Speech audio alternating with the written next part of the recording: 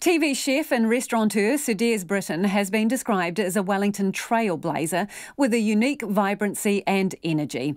He died early this morning after a battle with cancer, aged 82. Jonathan Mitchell looks back at his life. Sir Des Britten will be remembered by many for his 1970s television cooking show and was the country's first celebrity chef. His Wellington restaurant, The Coachman, was at the vanguard of fine dining.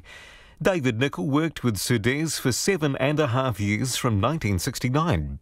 So I was thrown into it. We were doing about 30, 40 at lunch and much the same at night. And away we went. We were just pumping it. He says Sir Des was ahead of his time. He was doing sauteed loose white bait, fresh white bait, which used to go out across the chef's bar in just about truckloads. And we used to do chocolate souffles. While he was doing chocolate souffles in early 1970, uh, no one really.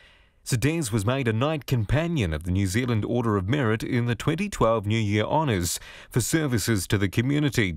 He was Wellingtonian of the Year in 2011, having been the City Missioner from 1994 until then.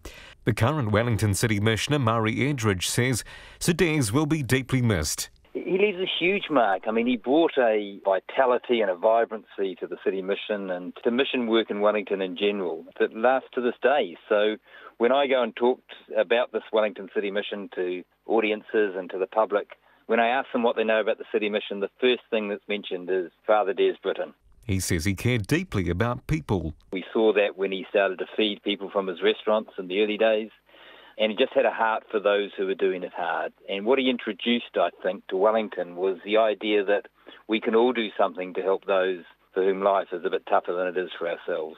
He was a restaurant critic during much of his time and was inducted into the Food Service Hall of Fame, having published a number of cookbooks.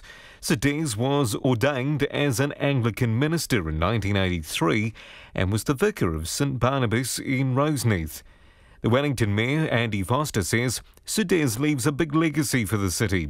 The city mission is just such an important part of, of our city and looking after so many of those people who are less well off. And there's some really exciting things that the mission is doing at the moment. Uh, Sir Des has been part of the kaupapa, the journey of the city mission to becoming what it is today. Sir Des is survived by their daughter Deborah and son Dominic. His wife Lorraine died last year. For Checkpoint, call Jonathan Mitchell, 10